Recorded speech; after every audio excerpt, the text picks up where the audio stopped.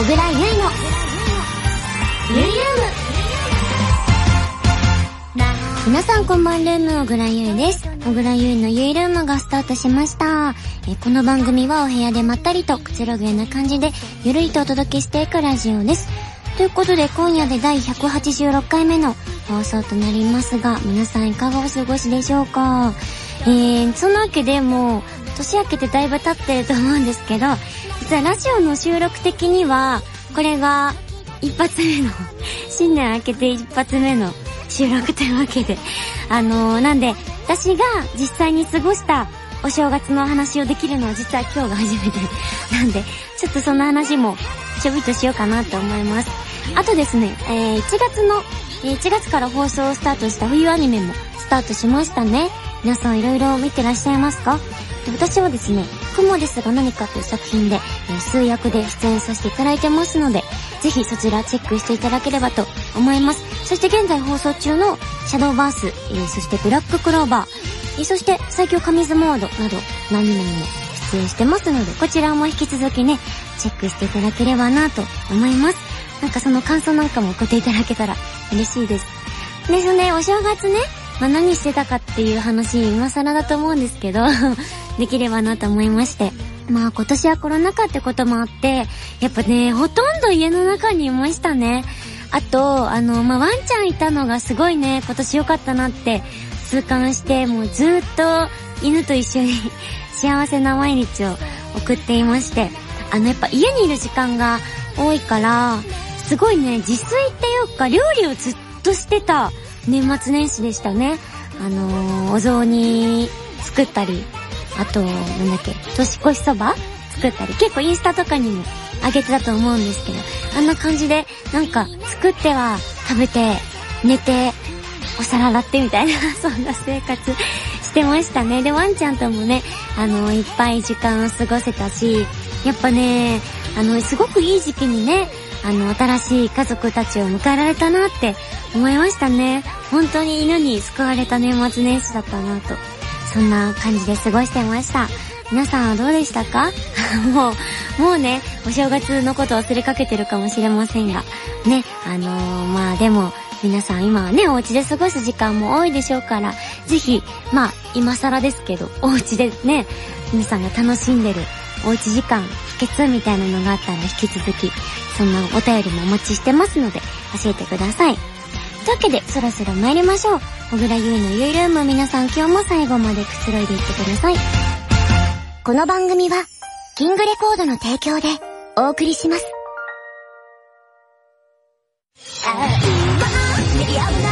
小倉唯、サブスク解禁？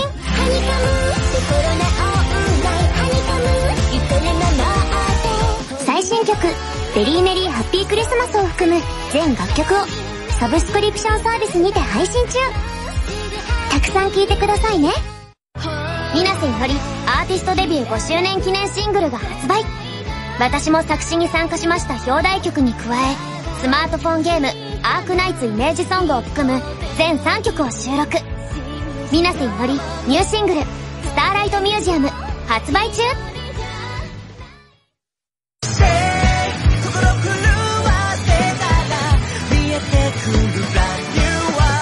内田悠馬ニューシングル「シェイクシェイクシェイク」1月27日発売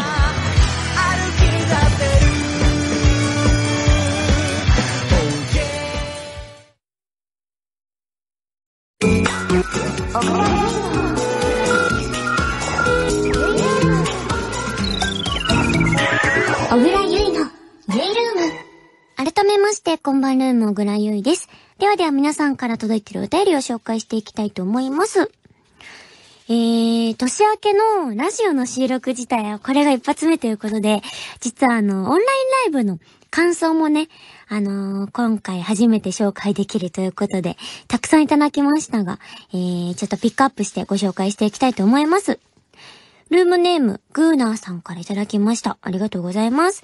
ゆいちゃん、こんばんルーム、こんばんルーム。初投稿です。ありがとうございます。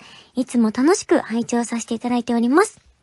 オンラインクリスマスライブ2020ウィンタートゥインクルマジック見ましたよ。ありがとうございます。えー、配信当日はトラブルもありましたが、無事に開催されてよかったです。えー、セットリスト、衣装、演出、どれをとっても最高でした。個人的に気に入ってるのは赤いリボンです。ふわもこの衣装はとても可愛かったし、目の動き、表情、仕草、一つ一つに見入ってしまい、セリフ部分の本当に好きにはドキドキしちゃいました。本当に素晴らしいライブをありがとうございました。もしよろしければ、裏話などを聞かせてくれると嬉しいです。えー、それでは寒い日が続きますが、お体にお気をつけて、良いお年をということでいただいております。ありがとうございます。続けてもう一枚紹介しようかな。えー、ルームネーム、ゆきかぜさんからいただきました。ありがとうございます。ゆうちゃんこんばんルーム、こんばんルームお邪魔します。先日配信されたオンラインライブ、ウィンタートゥインクルマジックを拝見しました。内容としては今回のライブのテーマである、えー、魔法の演出や画面を利用した早着替えなど、オンラインならではのギミックが組み込まれていた、とても見応えのあるライブだったと思います。また久しぶりにハニカムの衣装やライアーシープを披露するゆいちゃんを見切ることができて、懐かしい気持ちになりました。あ、これはファンクラブのパートですかね、ライアーシープは。そしてライブ中にも発表がありましたが、えー、新曲の制作の決定おめでとうございます。えー、次はどんな楽曲になっているのか今からとても楽しみです。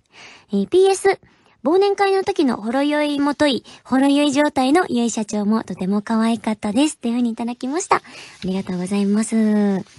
まあ、こんな感じでたくさんのウィンタートゥインクルマジックの感想いただきまして、今回のライブは、瀬取りも衣装も演出もどれも最高でしたっていうようなね、そんな歌りが多かったなって印象でした。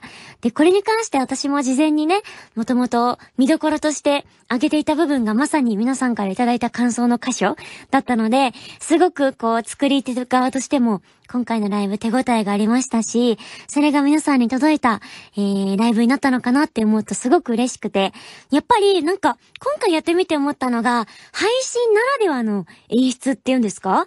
あのー、配信だからこそできるってことが、たくさんこう組み込めたライブになったなって思ってて、それこそね、たくさん感想いただいていた、このカメラの近さはやっぱり一つ醍醐味ですよね。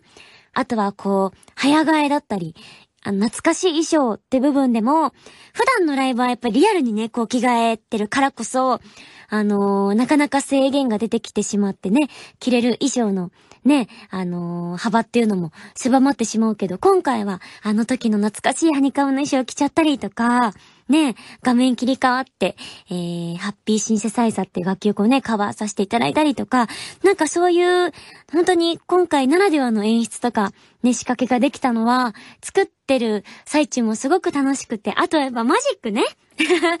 あの、マジック、結構あの、皆さんびっくりしていただけたようで、本当に練習しがいがありましたよ。ねえ。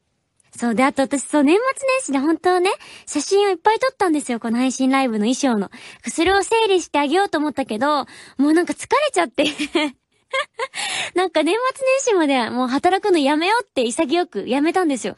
だからちょっと今更ながら、この配信ライブのね、衣装の写真はちょこちょこ上げていけたらなって思いますので、そこ、それはまたね、あのー、楽しみにしてもらえたらなと思います。あとあれだよね、ファンクラブパートで忘年会をやったんですけども、それもね、すごく好評だったというか、私も楽しい思い出になりまして、当日は。初めてかな、お酒を飲みながらですね、あの、配信をさせていただいて、私なんか当日そんなね、あの、ほろ酔いになってた自覚なかったんだけど、やっぱりみんなから、ほろ酔いのゆいちゃん可愛かったです、みたいな感想がたくさん来て、あ、あれはほろ酔いだったんだって思って、全然自分で恥ずかしくて見返してないです、そのパートは。そう、だからちょっとアーカイブ期間過ぎちゃってはいるんですけど、なんかちょっとね、見返してみようかな。あの、どんな感じだったのか。恥ずかしいから全然見てなかったんだけど。ね、でも、忘年会もね、こう、ファンの皆さん、ファンのクラブの皆さんと一緒に、社員の皆さんとね、あの、改めて一年の思い出を振り返ることができて、すごく素敵な時間をね、一緒に過ごすことができたなと思います。で、確かに当日はね、あの、いろいろトラブルがあったりして、あのー、ね、かなり遅い時間になってしまったんですけど、でも逆に遅くなったからこそ、みんなと本当にね、あのー、クリスマスあの、イブからクリスマスになるギリギリの瞬間まで、みんなと一緒にね、過ごすことができて、それな、それでね、それはそれですごいなんか、いい思い出になったなって 思いました。忘れられないある意味、うん、いいね。あの、クリスマスを皆さんと、クリスマスイブか、過ごせたんじゃないかなと思います。またね、こういう配信ライブも、こう、できたらいいななんて、そんな風に思った、すごく素敵なライブになったと思います。皆さんたくさん見ていただいてありがとうございました。では続いてお便り紹介します。えーと、ルームネーム、ドクターって読むのかな？これは。わかんない。DR、ゲルシさんからいただきます。ドクターじゃないか全然。DR ゲルシさん。勝手にドクターに見えちゃった。はい、からいただきました。ありがとうございます。えー、こんばんは。こんばんは。えー、小倉さんのことはあんまり存じ上げないのですが、新曲のベリーメリーハッピークリスマスをこの番組で偶然聴いてとても好きになりダウンロードしました。他にもどんな曲を歌ったりしてるんですか？ということでいただいた新規のリスナーさんですかね？ありがとうございます。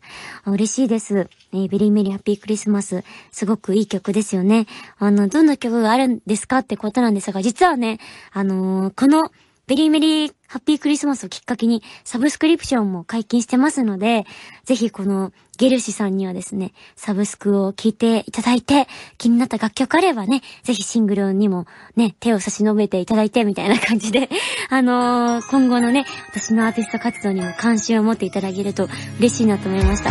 でもこういうね、新しい出会いがあるの嬉しいですよね。はい、ありがとうございます。ではではここでギリスさんからもね、えー、この楽曲が好きですということでいただいたのでこちらをかけたいと思います。小倉優でベリーメリーハッピークリスマス。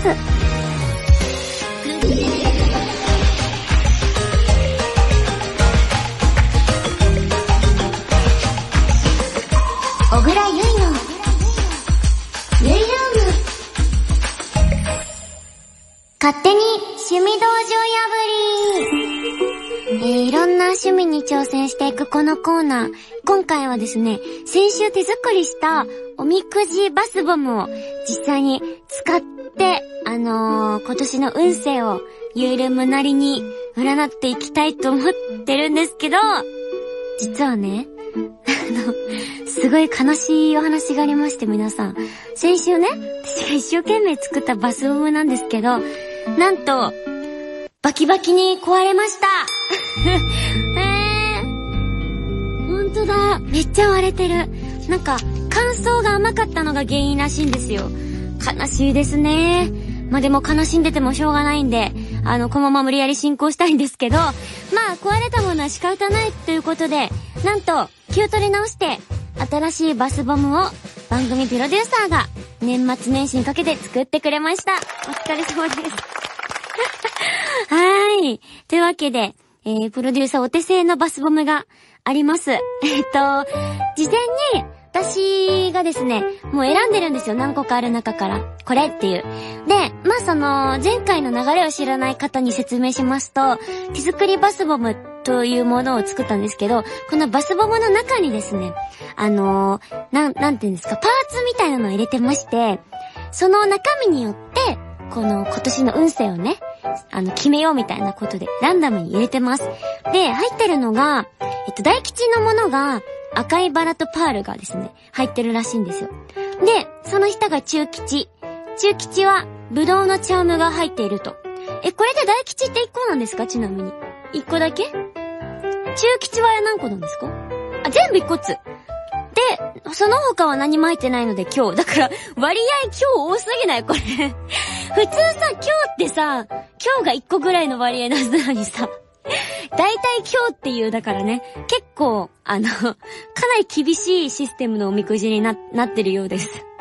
はい。というわけで私がもう事前に選んだバスモーが1個も手元にあるので、実際にこのね、スタジオのブース内で1個ドボーンしていきたいと思います。で、あの、スタッフさんはそれぞれ今、あの、スタジオの外でですね、バスモブを選んでいただいてるので、それをちょっと皆さん、外で、あの、バスボムを溶かしていただきまして、はい、あの、発表していきたいと思います。じゃあ、やっちゃおうか。私の作ったバスボム、運勢、今年の運勢いかに占っていきたいと思います？じゃあ、ドボンうわいい音溶けたよいや、なん、なんもないええー、今日なの、私。え、そんなこと？ええー、ひどい。でも溶かすの楽しい、これ。え、なんか出てきて欲しかったなこれでもさ、今日の割合多いからさ、しょうがないよ。さあ、スタジオの外で、今スタッフさんたち溶かしてますが、誰大、大吉出した人誰？あ、えっと、作家さんが中吉らしいです。ま、中吉はまあいいでしょう。誰大吉出しちゃった空気の読めない人。誰ですか？マネージャー ?S さん大吉まあ、いいでしょう。マネージャーならまあいいでしょう。だってマネージャーの運気がいいってことは、必然的に私の運気もアップするってことそういうことよそういうことですよ。いいでしょう。ああ、よかったよかった。これでね、P とかになってたら絶対ね、これ仕組んだでしょうっていうとこでしたよ。ねえ、だって作った人わかるよね、絶対ね。ああ、よかったよかった。じゃあ、えー、っと、結果は？私のマネージャーさんが、大吉ということで、イコール私の運気もきっといいでしょうということで、結果オーライよかった、の、お仕事たくさん決めていただきましてね。あの、頑張っていただきましょう。ということで次は何の趣味に出会えるのか、そしてこのバスボム作りが私の趣味に定着するのか、あどうなることでしょう。楽しみに。えー、私にチャレンジしてほしいリクエストもお待ちしています。ということで以上、勝手に趣味道場破りでした。さて続いては、 Very Merry Happy Box。私の新曲、 Very Merry Happy Christmas をフィーチャーしたこのコーナー、リスナーのみんなからもらったハッピーな思い出をご紹介して、そのエピソードのハッピーの数を私の独断で決定。えー、最後にその数の分だけハッピーベルをハッピーボックスの中に投入していきます。で、このハッピーベルはたくさん集めると皆さんと私にハッピーなことが起こるということなんですけども、えー、現在ハッピーボックスに入ってるハッピーベルはえー、48個、結構溜まりましたね。でですね、皆さん、もうそろそろお察しかと思うんですが、えー、このコーナー、えー、今回でラストとなりまーす。はい。まあね、もうクリスマスもだいぶもう終わってかなり経つということで、はい、あのー、これまでもたくさんね、ハッピー集めてきましたけど、今日はもうできる限りのハッピーを、あのー、ハッピーベルを出し切りたいなと思っています。ということで、えー、ラスト、ハッピーメールご紹介したいと思います。ルームネーム M カッコカリさんからいただきました。ありがとうございます。え、数年前、友達と、おかち町で飲もう。おかち町で飲もうということになり、秋葉原から歩いていたのですが、えー、その途中でなんと、通常なら1割から2割しか値引きしない某有名メーカーのショートブーツが半額しかも消費税サービスで売っていたのです。以前自分は同じ靴を15年ほど履いていて、その靴の丈夫さと素晴らしさは十分知っていましたが、何しろその靴は高いので、その後返しにいました。どんだけ高いんだろう値段が気になるけど。その時目にしたその価格。どの価格？価格知りたかったな。早速店員さんにサイズの在庫を聞くとありました。サイズが。速攻 ATM へ走り、走り、買ったのは言うまでもありません。 Very Happy Max でしたということで。え、なんかこれ値段知りたかった。いくらの何のどの靴だったの？みたいなね。それがどのぐらい安く買えたのっていうところがちょっと、あのー、聞きたかった情報。まあ、でもだいぶお得に買えたってことなんでしょうね。私もでもそれで言うとさ、あの、年末年始ってやっぱ一番さ、安くなるじゃないですか。洋服とかが。だから私すっごい買いだめしました。けど、しばらくもう買い物はしないようにしようと 思ってます。私もだからそういう意味では、M カッコカリさんと一緒な、あの、お買い物にまつわる Very Merry Happy があったんで、まあ、その自分のハッピーも一緒にね、上乗せしちゃおうかなと思いますよ。もうラストなんでね。はい。ということで、えー、今回入れる、 Very Merry Happy Box に入れる、えー、最終的な、このハッピーベルの数、決めていきたいと思います。えー、そうだな。うーん、まあ私のハッピーもあるから、今回のベリーメリーハッピーベルは、25個はい。この数の決め手は、まあなんか15年ほど履いてたっておっしゃってたので、M かっかりさんが、えー、その15っていう数、プラス、なんか私が、ハッピーにお買い物できたっていう分のね、10個をプラスして、25個にしました。さあ、というわけで、実際に25個、えー、ここに入れていきたいんですが、足りるかしら？数。えー、まあいいやん。もうこれ全部入れます。多分25あるんで。じゃーん。はい。じゃあ全部入れました。ということで、えー、今回というか、えー、ここまでですね。ハッピーな皆さんの思い出を今までご紹介してきましたが、えー、このコーナーここまでとなります。というわけで、もともとこの企画ですね、えー、ハッピーベルをたくさん集めると、みんなと私にハッピーなことが起こるということで、えー、そういうことでお送りしていたこのテーマ、テーマっていうかコーナーなんですが、皆さんに起こるハッピーなこと、えー、決まったようなのでご紹介したいと思います。みんなへのハッピーな出来事は、この番組のステッカー3色セットをプレゼントということで、えー、通常はですね、お便りが採用された方がもらえる番組のオリジナルステッカーとですね、3色あるんですね。で、普段はランダムでプレゼントしてるらしいんですが、そちらを3色セットでプレゼントするということで。で、これ何名にプレゼントするかっていうのを、今回溜まったハッピーベルの、えー、総数で決めるらしいんですが、ここに表があるんですよね。えー、見ていきましょう。ハッピーベルの数が1個から19個1名様、20個から39個が2名様、40から59個が3名様、60個以上なら10名様にあげちゃうよということで、どうですか？数60以上ありそうじゃないですかね。超えましたよね。ということで、えー、10名様に、えー、番組ステッカー3色セットをプレゼントしちゃいます。でですね、この、えー、番組ステッカープレゼントなんですけども、欲しいよという方は、えー、メールの一番最後に欲しいよメッセージを書いて、えー、お便りをですね、この先に送ってきていただければと思います。ということで、あの、ハッピーなことを何かということで紹介したんですけど、あのー、私のハッピーなこと抜けてません？これ、あの、書いてないんですけど、台本に。どういうことですか？スタッフさん。え？忘れてた？えー、そんなことある？ひどい。ということで、あのー、次回以降で私へのハッピーな、あの、プレゼント、ちょっとあのー、ね、考えていただくようにしたいと思います。びっくり。はい。というわけで、皆さんたくさんのハッピーな思い出送ってくださいました。ありがとうございました。えー、一緒に少しでもハッピーな気持ちになっていただけたら嬉しいです。ということで、以上、 Very Merry Happy Box 最終回でした。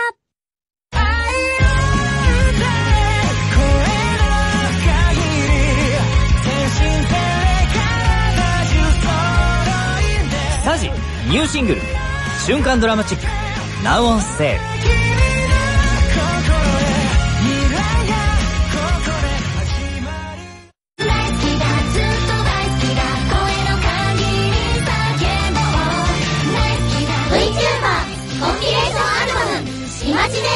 ボリューム3好評配信中エールフォーユー明日へ超前進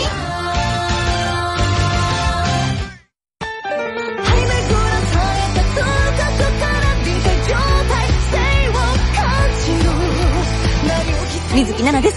テレビアニメ、デビウスのオープニングテーマ、リンクオアチェーンズをデジタルリリース。各サイトにて配信中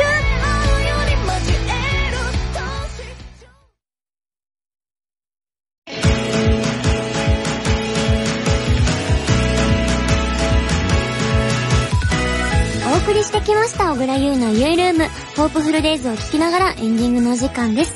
番組では皆さんからのお便りを募集しています。おはがきの場合は、郵便番号105-8000に、文化放送小倉優衣のゆいルーム、それぞれの係まで、メールアドレスはゆいルームアットマーク、JOQR.net です。各コーナーで私への質問、楽曲のリクエストなど、どんどん送ってきてください。えー、そしてここに一緒にですね、先ほどご紹介した、えー、ステッカー3色セットが欲しいよって方は、そちらも一緒に記入してぜひ送ってください。えー、また採用された方には番組オリジナルステッカーをプレゼントしております。住所、氏名の記入を忘れないようにしてください。たくさんのお便りお待ちしています。ではここで私からのお知らせです。配信限定のシングル、えー、 Very Merry Happy Christmas を含む私の全楽曲がサブスクリプションサービスにてお聴きいただけるようになっています。ぜひお楽しみください。そして声優グランプリさんにて連載の You Can Do It をまとめたフォトブック You Can が発売中です。え、今月号からは新連載の You タイムもスタートしてますのでこちらもぜひチェックしてみてください。さらに私のオフィシャルファンクラブ、ユイズカンパニー、社員限定オンラインプログラムの実施が決定しています。詳しくはファンクラブサイトをご確認ください。そして私、小倉優13枚目のシングルが春頃に発売が決定しました。タイトルや発売日など、詳しい情報は続報お待ちください。はい、というわけで第186回目の放送でしたが、いかがでしたでしょうか？あ、これ私1個気になったんですけど、あのー、番組の3色ステッカーセットが欲しい方は、それをメールの宛名に書いて、それがお便りが採用されなくてももらえるってことなんですか？じゃあ抽選でもらえるっていうことなんですね。というわけであの、皆さん、あの、ちょっと混乱があるかと思ったんで説明したいと思うんですけど、今回の Very Merry Happy Box のコーナーの企画で決まった3色セットが欲しい方は、お便りと一緒に、その、欲しいですっていう申し出を送っていただければいいんですけど、そのお便りが採用されなかったとしても、抽選で、あのー、もらえるそうなので、ぜひ、これを機にお便りぜひ送ってみてください。はい。なんで、まあ、抽選で要は決まるってことですね。お便りを送っていただければ。はい。さあ、というわけで、今夜はこの辺でお別れになります。